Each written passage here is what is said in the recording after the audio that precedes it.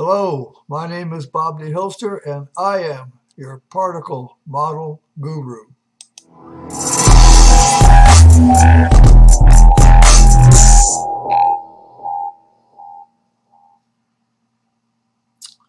And welcome. Today's video is uh, on the foundational problems of quantum mechanics. I have been reviewing uh, the five uh, problems of uh, physics uh, uh, in a book written by Lee Smolin titled The, the uh, Problems with Physics. And I've made three videos already. a summary video here of the five problems of physics covered as in general then I made a video on problem number five, which was dark matter and dark energy. And the last one was problem number one, which was on quantum gravity. And yes, today's video is on problem number two, the foundational problems of quantum mechanics. This is what Lee Smolin says is needed to resolve this says resolve the problems of the foundations of quantum mechanics either by making sense of the theory or by inventing a new theory that does make sense.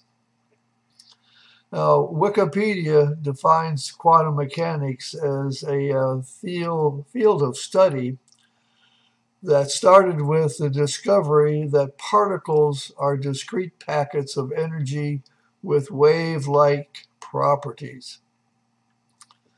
Particles are not particles. Particles are discrete packets of energy. And, and this led to the branch of physics dealing with the atomic and subatomic systems, and it's called quantum mechanics. Now, there's two general topics uh, that cover the problems that Lee Smolin was talking about, and one of them is infinities. And basically at the bottom here, he's using the guideline that sensible theories should have finite answers. And all of these three, including quantum mechanics, has some form of infinity that that really should be corrected in quantum mechanics, uh, there's the claim that electric and magnetic fields have values at every point in space. Lee Smolin seems to think that's uh, doesn't make sense. And in terms of infinity, how does the magnetic field extend out to infinity? Or how can it have infinitesimally small fields of force? In every point in space. Uh, seem to have forgotten gravity in this case. I guess that's because quantum mechanics doesn't uh, clearly include gravity. Uh, there's a, uh, a, a, a, there's the Rayleigh-Jeans law, which failed because black body radiation grew to infinity at higher frequency. It was the first attempt to try to uh, model the, uh, the measured uh, spectral energy coming out of a black body. And, and, and, it did well at low frequencies, but at higher frequencies, the formula tended to infinity, and uh, that's a problem, and we'll talk about that later. General relativity has a problem with infinities because inside a black hole, the density of matter and the strength of the gravitational field become infinite. These infinities are problems and should be corrected. Probably the biggest problem in quantum mechanics is its reality. Uh, I recently read or saw in the internet that most of the uh, scientists working in quantum mechanics are searching themselves for some form of realism because they realize that some of the things that are going on are really quite bizarre. He says that reality should be true even when we're not there. In other words, sometimes when we're there or when instruments are used, they affect the results and hence what we perceive as reality. and uh, that's that needs to be fixed. Uh, some of the scientists who were involved with the quantum mechanics uh, evolution, Einstein, Schrodinger, and de Broglie, uh, they pursued more real realistic tasks. Uh, uh although Einstein, he followed a path trying to unify general relativity with quantum mechanics because quantum mechanics seemed to be giving such good results. But yet there were these bizarre uh, things going on. Wave particle duality of a photon and electron clearly seem to show that particles are not particles and they're not waves. What are they? And hence they had the definition of a particle as a packet of discrete energy. And, and once, once you grab onto the wave particle duality and try to run with it, you end up with things like entanglement and, uh, and uh, other, other such things. And uh, another one is with the Big Bang and, and, and multiple universes. Very strange. But some people in, embrace this. They, they pursued it, and that was Niels Bohr and Werner Heisenberg went forward with that. Well, Lee Smolin suggests there's three solutions to the quantum mechanics problem. Number one, the theory should make the instruments and observer a defined part of the system to be tested. Instead of leaving them out, if they're going to be there, include them. The second one is kind of the opposite way. Find a way to interpret the equations they do have so that the instruments and observers play no part in defining the reality. Two opposing views, but both of them tend to save quantum mechanics. It says, barring this, those solutions, you need to invent a new theory. now, the history of the quantum goes back quite a ways, although they didn't say that much about it or understood it that way. In 1814, Fraunhofer uh, measured the uh, solar uh, spectrum, the absorption of solar light. And Gustav Kirchhoff, he, he uh, measured the emission spectrum. And both of them found these spectral lines, which indicates there's chunks of things missing, like uh, things are not continuous.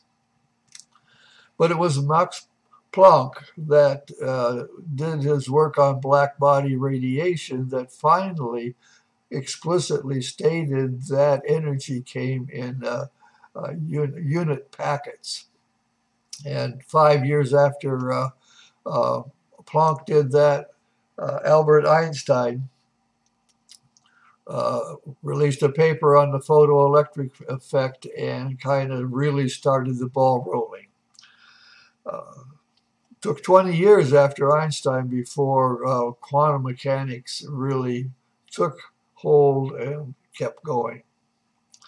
This is a stamp that was issued in 1987 with a uh, picture of the solar spectrum drawn by Fraunhofer. You can see there's the spectral lines, and of course, thing, chunks of, of uh, the spectrum are missing. Didn't call it quantum mechanics there, but there's the hint that things are not continuous.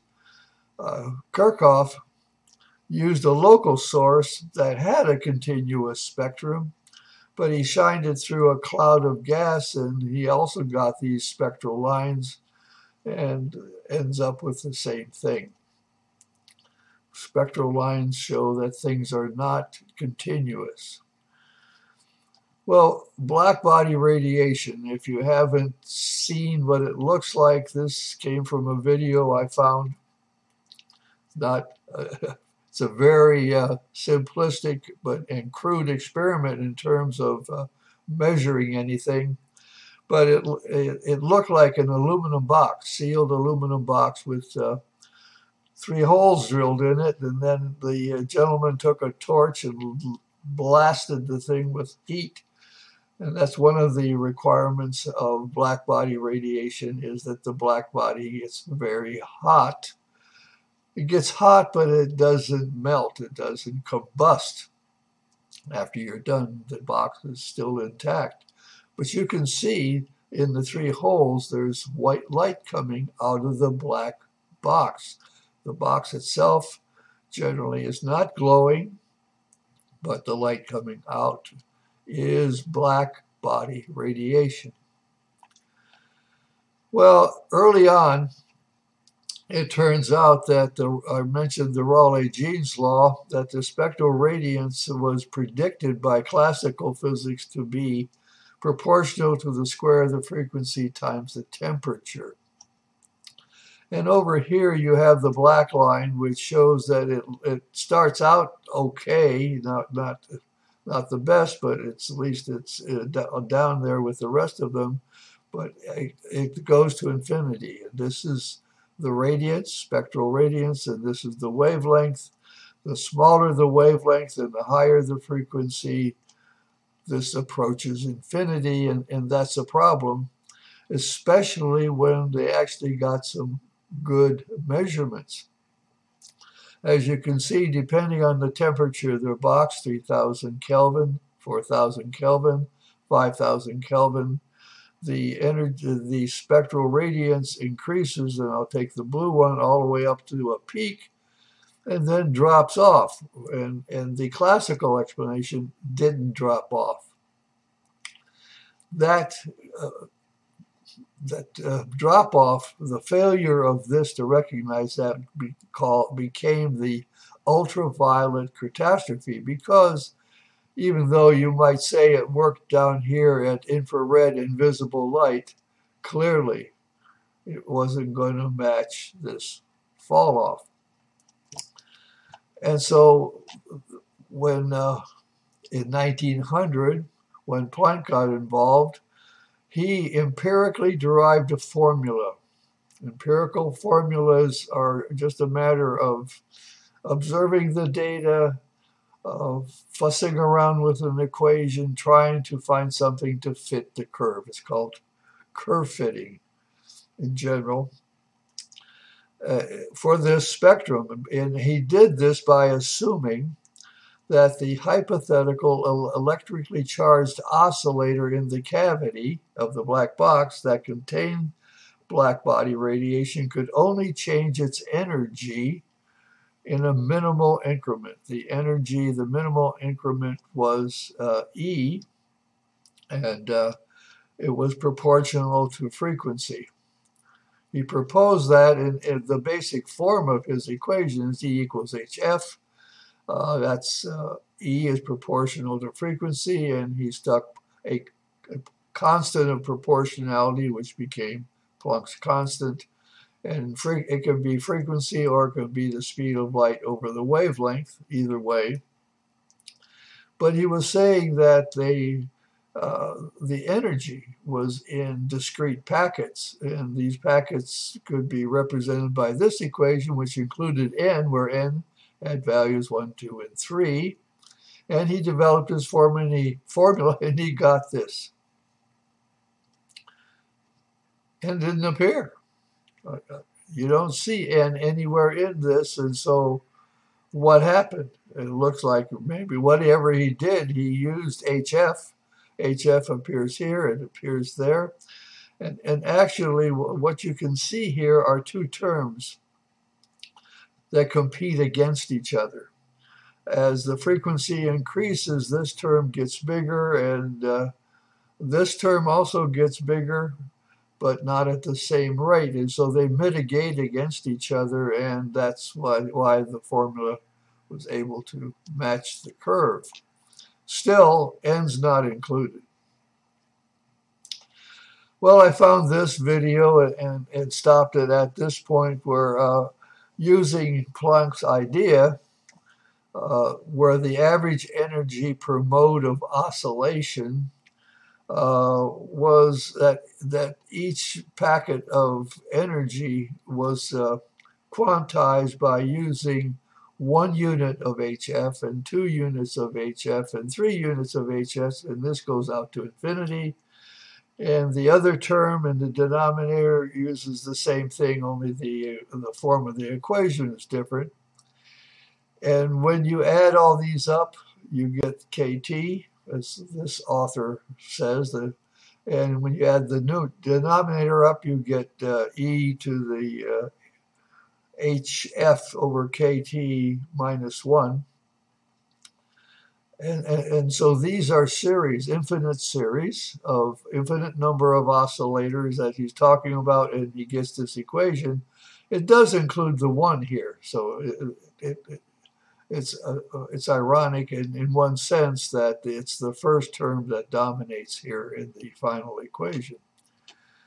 So that's how it got. It, it is there in a way, but you don't see it in this final equation. It was 25 years after he did that he called his work a fortunate guess, and, and at an interpolation formula, empirical formula where he tweaked it where the quantum of action is a fictitious quantity, not real. He thought it wasn't real, it was just mathematics, nothing more than juggling. His quantized method is not based on a physical theory. Well, let's talk a little bit more about the experiment, what might be going on. Uh, this first part is to, going to describe the physics of the low frequency radiation, why it behaves the way it does when it's at thermal equil equilibrium.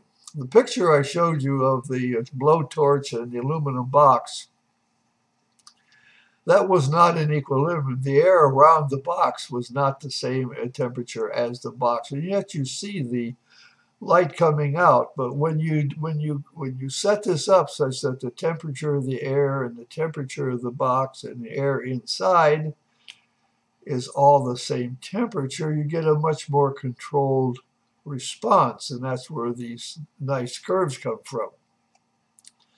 So what happens in thermal equilibrium? Well, you you set this box in a room, a small room, or a larger box, and you heat the air and you heat it and you heat it until it gets to 3,000 or 4,000, 5,000 degrees Kelvin. And what happens as the air heats, the molecules in the air vibrate and they hit the black box and it causes the black box to uh, vibrate vibrating molecules in the black box uh, can hit interact with the air, hit them, and cause them to vibrate more or less. It isn't always more, but in general, it, it does increase because you're heating the air hotter and hotter, and this air becomes the primary source of the heat. And finally, you reach a stable temperature. When you reach stability, the interactions they continue to, the molecules continue to interact. It isn't static, it's dynamic. And these air molecules are vibrating very fast, and they're hitting the black box, and they're vibrating fast or slower. And, and these molecules in the black box do the same thing to the air. So it's constantly changing. When the air molecule hits the black box, the change in the vibration can either be slower or faster. So let's take a look at the curves. This is the black box. It's in, it's in equilibrium at some temperature. I'm going to assume 5,000. And what this peak represents is the number of oscillators in the black box are at 5,000 degrees C, and most of them are actually at 5,000, but clearly some are not. These are not. These are not. What happens is these interactions cause some of them to slow down or some of them to speed up. Some of them may slow down a lot or even more, with much like a cue ball hitting an object ball, a fast moving cue ball hitting a stationary object ball, the cue ball will stop. And, and, and then what happens after, uh, in, in this case, if you were to stop a molecule from vibrating or get it to almost stop, the, the temperature of this air being maintained at a certain volume will, will slowly cause this, the one that stopped to move back up and get and go faster. What it means that is over a short interval of time, you will have these occurrences of smaller uh, vibrations, and hence you get the, this distribution. Most of them here, they get knocked down, they move back, they get knocked up, and they move back, and it's a dynamic situation. Molecules on the right side, to me, are explained by the interaction the constant interaction of the molecules with the air in the black box. Now let's talk a little bit about, to get to the high frequency, let's talk about the particle model for light. In particle model for light, if you have a you have a peak here and a valley here, another peak, a valley peak, that's a model for light. Lots of G1s here, lots of G1s here.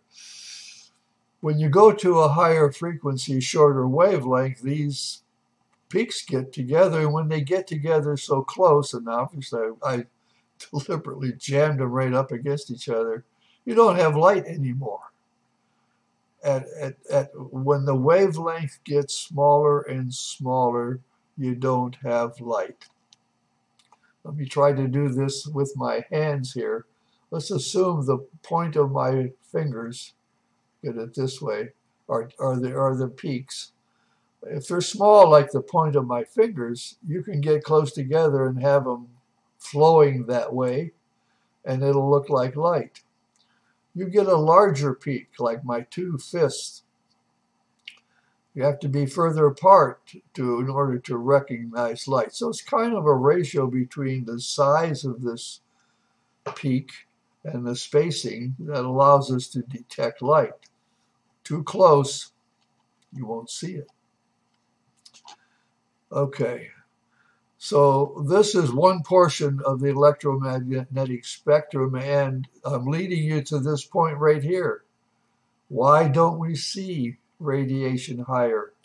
If the if light is made out of the G1 particle, which is like the size of an electron, or the photon, if you want we why can't we see the light here? Why can't the, the radiation? Maybe it's not quite so easy, but let's go to what we do measure and see, and that's the gamma ray. And what it says, if once the wavelength is the size of a nuclei, you can still have peaks of, of, of, of particles clump together and have that size of a nuc of a uh, wavelength and we get it. Something happens with the peaks and the the wavelength such that after that point, and it's not clear exactly why it exactly stops there, but one of the clues is obviously the size of the wavelength. It stops here. Black body radiation stops here. And what Max Planck was saying was that you have molecules in the black, I'm saying in the black box and, and molecules in the air that are vibrating higher and higher, but because the, of the size of these, maybe maybe that's the reason. It isn't the the uh, the molecules themselves that are the peak uh, when they vibrate back and forth, they hit each other, release G1 particles, and, and they release them in clumps. How big the clumps are in this case, I don't know, but if they get as close as the distance of one molecule, it drops off, and none of these frequencies are noticed out of the black body. I'm suggesting that it has to do with the size and wavelength of the model, why it drops off. We can't detect it anymore. So then the question becomes, if those are the physical explanations at, at the, the high frequency and the low frequency and the peaks, do we need the concept of the energy of quanta to understand black body radiation? Is Planck's mathematical juggling a basis for a theory of physics? Could classical physics explain black body radiation without the quantity of energy if they understood the physics? of the black box? Or could we use the particle model theory of light to develop equations that could calculate the values of the black body radiation curves? Haven't done that yet. Lots of things I haven't done. And as I said before, lots more work to do. So the question is, do we really need the quantum of light that's my foundational problem is that we don't understand, if we don't understand the physics of the box, and maybe I don't have it right, but the closer we get to understanding it, the better we're able to model it and then get equations that are based on the physics rather than mathematical juggling. So science can explain, and it's my opinion, the ongoing interactions explains the low frequency. Uh, modules, mo uh, the molecules cannot vibrate enough. Uh, uh when they vibrate too fast, they they they can't generate the UV frequencies because the size of the not the molecule, but size of the peaks of the uh, re re released light are not able to uh, be measured. By the way, they could they could exist. There could be some higher than that. But if you can't visibly see it or measure it, we think it's not there. The, the peaks represent the vibration rate of the most of the black body molecules at that temperature, and the interactions push it too high or too low, and, and the the uh, G2 uh, forces that are holding the black body together, that gravitational force tries to bring these molecules back to a, uh, a nice stable state, and that stable state is the peak. My name is Bob de Hilster, and I am your particle model guru. Tune in next time when I'll explain more of the universe using the particle model. Thank you for your attention.